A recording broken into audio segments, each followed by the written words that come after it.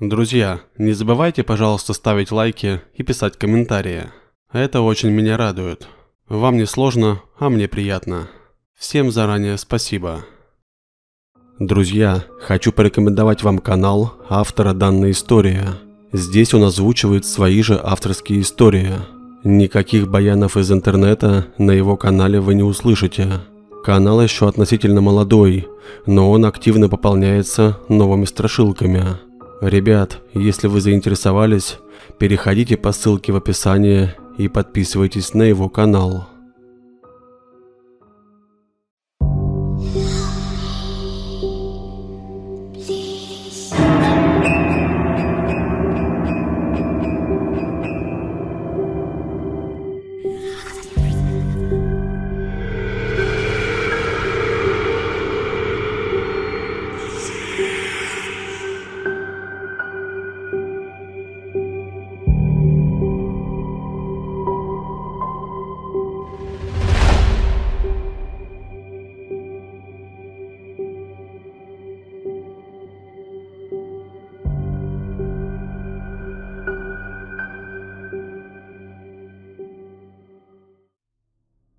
На тот момент я учился в колледже в другом городе, где снимал комнату в квартире, где помимо меня жил еще мужик лет сорока. В один из будних дней я, как обычно, пришел на пары, зашел в аудиторию и сел за парту рядом со своей подругой. «Привет, Ника», — сказал я. «Ну что, посмотрела тот фильм? Как тебе?» «Привет. Да нормально», — сказала она с улыбкой, глядя на меня. Этот разговор я вряд ли бы запомнил, если бы не одна деталь.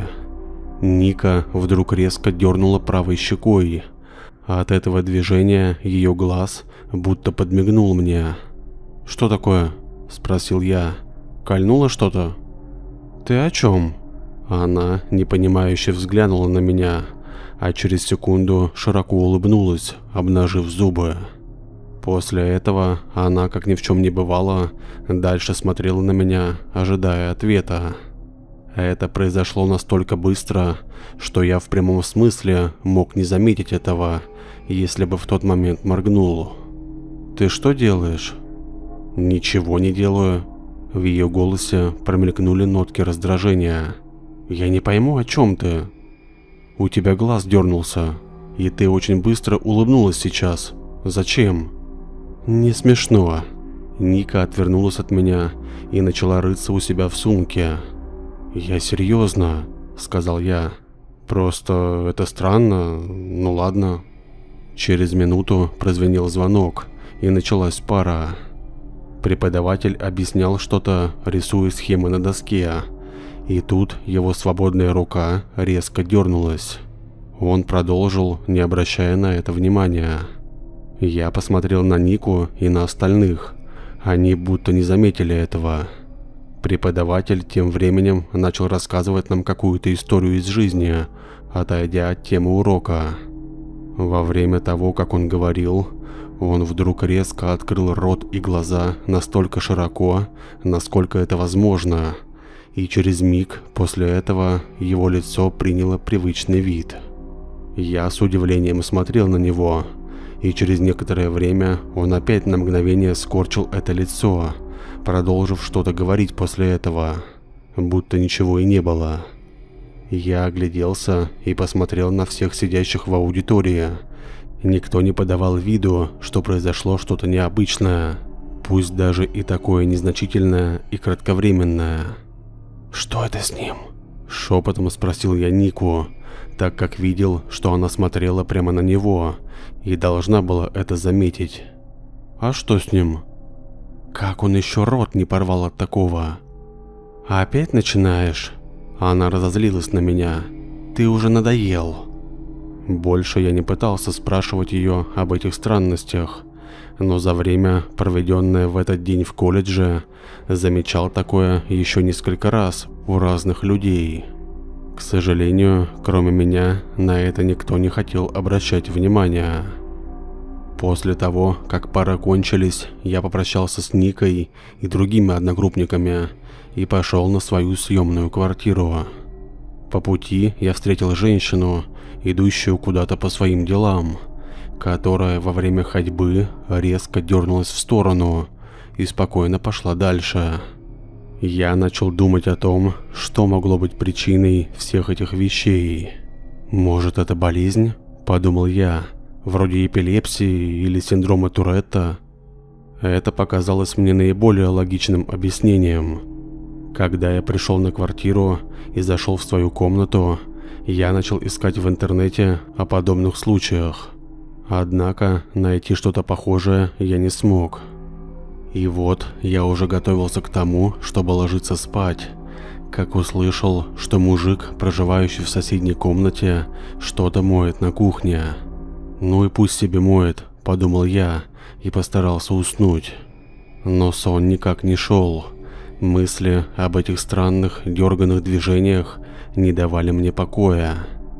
Я ворочался уже где-то часа полтора, и все это время из кухни раздавались звуки, бегущей в раковине воды и каких-то полосканий. Что там так долго можно намывать? Подумал я, тихо встал и подошел к двери из комнаты. Не открывая ее, я прислушался к тому, что там происходит. По звукам было похоже, что он набирает в кружку воды и выливает в раковину. Набирает и выливает. Постоянно, без остановки. Ну мало ли, чем он там мог засрать свою кружку, подумал я и решил, что скоро он закончит дымовать посуду и пойдет спать. Но заканчивать он, похоже, не собирался. Прошло еще минут 15, и за это время он ни разу не замешкался, пока занимался этим делом.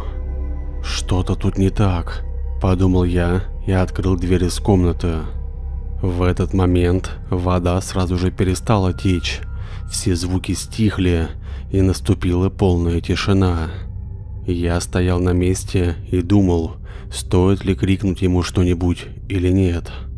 Спустя полминуты я услышал, как на кухне со скрипом открылся шкаф для посуды, а через секунду захлопнулся. Снова открылся и захлопнулся. Это повторялось снова и снова. «Хорош дверцами хлопать!» – закричал я, не понимая, что этот мужик творит. В голове была мысль, что он напился до беспамятства, но я в этом очень сомневался. «А, это ты?» – раздался его голос с кухни. Он прозвучал вполне трезво и нормально. «Ты уже дома, да?» Я начал было успокаиваться, подумал, что у него там свои дела, но последний вопрос меня немного насторожил. «А где мне еще быть ночью?» – спросил я, не выходя из комнаты. «Мне завтра на пары, а ты тут шумишь, дверьми хлопаешь». «А, это ты?» – услышал я его голос с точно такой же интонацией. «Ты уже дома, да?» Мне стало совсем не по себе. Страх начал нарастать. «Тебя заело, что ли?» – сказал я, надеясь услышать хоть какой-нибудь другой ответ. «А, это ты?» – услышал я его голос, после чего из кухни раздались шаги. Я махом закрыл дверь и пододвинул к ней кровать. «Что за хрень?» – прошептал я и сел на кровать. Я думал, возможно, стоит позвонить в полицию или в скорую. Решил, что если он начнет буянить, то я сразу же позвоню. Из коридора раздались шаги, звуки которых прекратились возле двери в комнату. Затем шаги начали отдаляться от меня и затихли где-то на кухне. Потом снова приближаться. Он ходил туда-сюда, от кухни до комнаты, без остановки. Я начал ломать голову над тем, что вообще происходит и что мне делать в этой ситуации. Когда он в очередной раз подошел к двери, я ожидал услышать, как он идет назад. Но тут раздался громкий удар в двери. От неожиданности я вскочил с кровати. «Твою мать!» – непроизвольно сказал я. Последовал еще один громкий удар, а затем еще один. Я достал телефон и начал звонить в полицию. «Отделение полиции, что у вас случилось?» – сказали на том конце. «Сосед по комнате неадекватно себя ведет и пытается меня убить. Мне нужна помощь, приезжайте скорее». «Диктуйте свой адрес», – услышал я спокойный голос и сразу же сказал им, где я нахожусь. «Что у вас случилось?» – внезапно сказали на том конце. «Отделение полиция?» «Что?» Я не верил своим ушам. «Я же говорю, мне нужна помощь!» «Отделение полиции?» Раздался монотонный ответ. «Что у вас случилось?»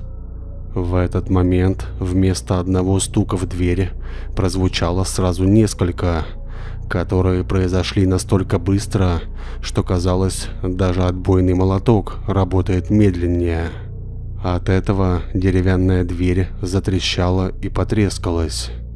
Я отошел от двери к окну и подумал, что могу спрыгнуть вниз, так как здесь только второй этаж. Последовала еще одна серия слишком быстрых ударов, от которых в двери образовалась щель. Спустя пару секунд мой сосед уже пролез в эту щель и стоял у кровати в моей комнате. «Уже дома, да?» – сказал он все те же слова, и на его лице на миг появилась большая широкая улыбка, которая тут же исчезла. Я кинул в него свой телефон, но промахнулся.